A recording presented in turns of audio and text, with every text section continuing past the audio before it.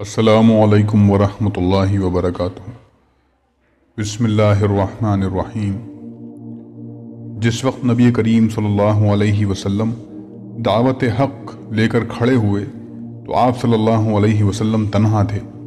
कोई आप सल्लल्लाहु अलैहि वसल्लम का साथी और हम ख्याल न था। दुनियावी कोई ताकत आपको हासिल न थी। आप सल्लल्लाहु अलैहि वसल्लम की कौम में खुद सिरी और खुद राई इंतहा दर्जे को पहुँची हुई थी। उनमें से कोई हक बात सुनने और इतात करने पर आमादा न था। बिलखसूस जिस कलम हक की आप तबलीग करने खड़े हुए थे, इससे तमाम कौम के कलूब मुतनफ़िर और बेजार थे। इन हालात में कौन सी ताकत थी जिसने एक मुफलिस और नादार, बेयार और मददगार इंसान ने तमाम कौम को अपनी तरफ़ खींचा? अब गौर कीजिए कि आखिर वो क्या चीज़ थी जिसकी तरफ़ आपने मखलूक को बुलाया और जिस शख्स ने उस चीज़ को पा लिया, वो फिर हमेशा के लिए आप सल्लल्लाहु अलैहि वसल्लम का होकर रहा। दुनिया जानती है कि वो सिर्फ़ एक सबक था जिसको आपने लोगों के सामने पेश किया।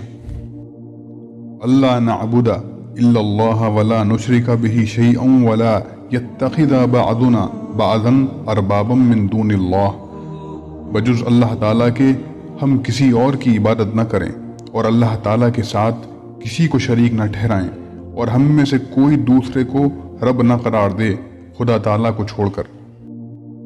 अल्लाह वाहदहू ला शरीक के सिवा हर शय की इबादत और इताद और फर्मा बरदारी की ममानत की और अगियार के तमाम बंधनों और इलाक़ों को तोड़कर एक निज़ाम अमल मुकर कर दिया।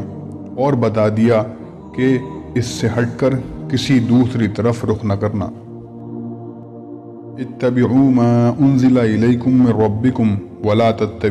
मिन दूनी अलिया तुम लोग उसका इत्तबा करो जो तुम्हारे पास तुम्हारे रब की तरफ़ से आई है और खुदा ताला को छोड़कर दूसरे लोगों का इत्तबा मत करो।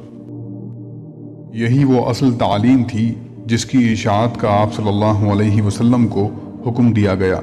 उदऊ इला सबील रब्बिका बिलहिकमती वलमऊज़तिल हसनती वजादिलहुम बिल्लती हिया अहसन। इन रब्बका हुवा अलमु बिमन सबीलिही व अलमु बिलमुहतदीन ए मोहम्मद सल्लल्लाहु अलैहि वसल्लम, बुलाओ लोगों को अपने रब के रास्ते की तरफ़ हिकमत और नेक नसीहत से और उनके साथ बहस करो जिस तरह बेहतर हो।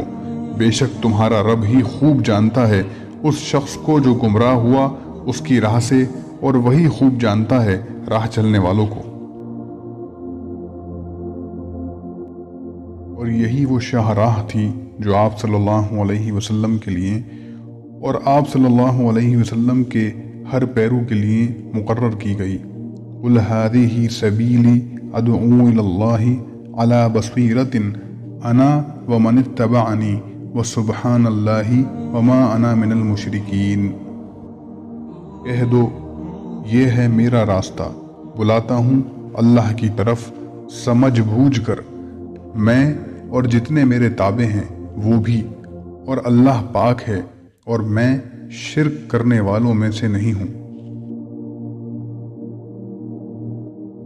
वमन अहसन कौलम ममन दआ व अमिल सालहम वक़ाल इन्ननी मिनल मुस्लिमीन और इससे बेहतर किसकी बात हो सकती है जो खुदा की तरफ़ बुलाए और नेक अमल करे और कहे, मैं फर्मा बरदारों में से हूँ बस अल्लाह ताला की तरफ़ उसकी मखलूक को बुलाना, भटके हुओं को राह दिखाना, गुमराहों को हिदायत का रास्ता दिखाना, नबी करीम सल्लल्लाहु अलैहि वसल्लम का वजीफ़ा हयात और आप सल्लल्लाहु अलैहि वसल्लम का मकसद असली था।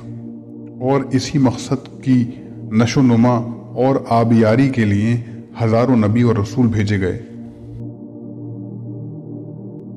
वमा कबली का मिर रसूल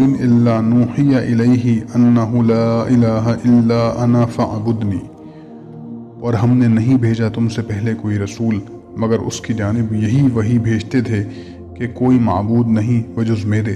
बस मेरी बंदगी करो। नबी करीम सल्लल्लाहु अलैहि वसल्लम की हयात तय्यबा और दीगर अम्बिया इकराम के मुक़दस लम्हात ज़िंदगी पर जब नज़र डाली जाती है तो मालूम होता है कि सब का मकसद और नसबुल आन सिर्फ़ एक है, और वो अल्लाह रब्बुल इज़्ज़त वहदहुल्ला शरीक की ज़ात और सिफ़ात का यकीन करना। यही ईमान और इस्लाम का मफहम है और इसीलिए इंसान को दुनिया में भेजा गया है। वमा खलकतुलजन्ना वल इंसा अबूदून यानी हमने जन्नात और इंसान को सिर्फ़ इसलिए पैदा किया कि बंदा बनकर ज़िंदगी बसर करें।